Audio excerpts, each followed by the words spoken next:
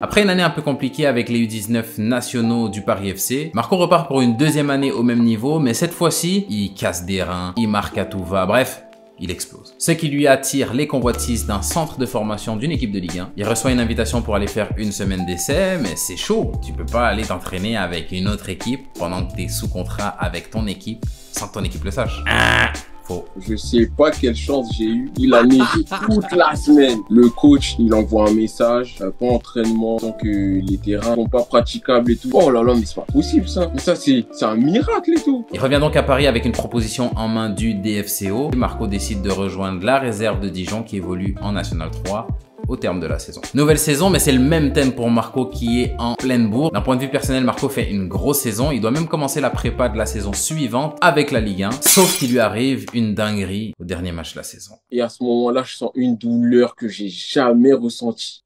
Abonne-toi pour la partie 3.